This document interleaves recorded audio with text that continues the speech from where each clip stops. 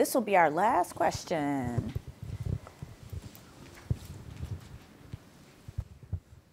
Hello, I'm Hi. Hello. Josh Ferguson from the Ross School of Business.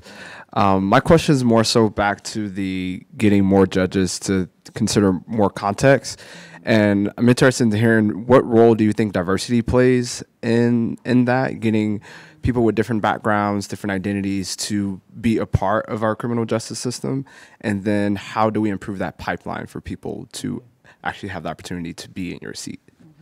Um, I I think diversity is very very valuable and in my personal experience here's why. Because I have been talking about the justice system to anybody who will listen for years. But after George Floyd, some people listen to me at all and some people listen to me differently as a black female judge.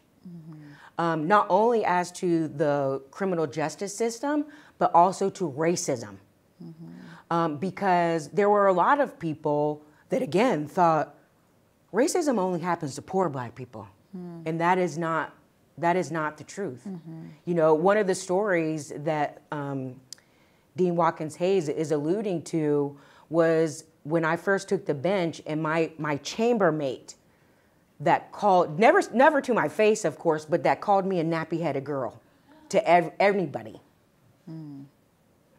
So even in educating people that racism sees no class, um, I think is effective.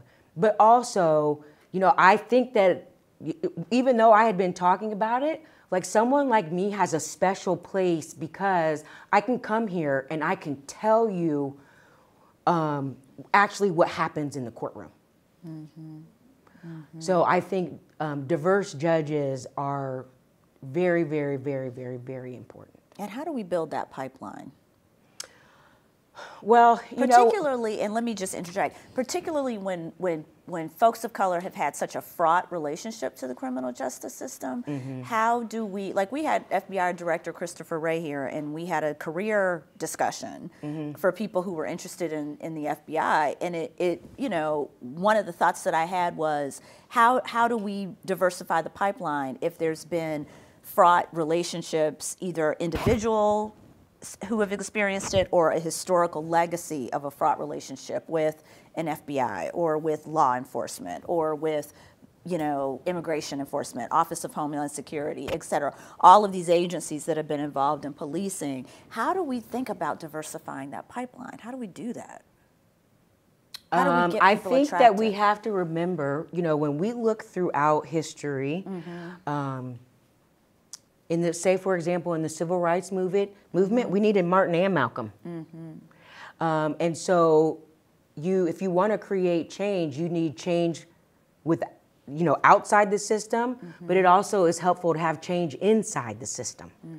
Um, and so that not only comes into play with black judges or you know diverse judges period of any color um, but it also comes into play because you also see black attorneys not wanting to go into prosecutors offices. Um, but like if i could show you and i'm out of time so i can't but if i could show you all the points throughout the life of a case that a prosecutor um, is making decisions because the prosecutor is seeing a case a lot of times before even a judge is or before even a public defender is. And so, for example, you have to have diverse people in prosecutors' offices presenting information to the grand jury mm-hmm. because the grand jury is the one that decides what someone is going to be charged with.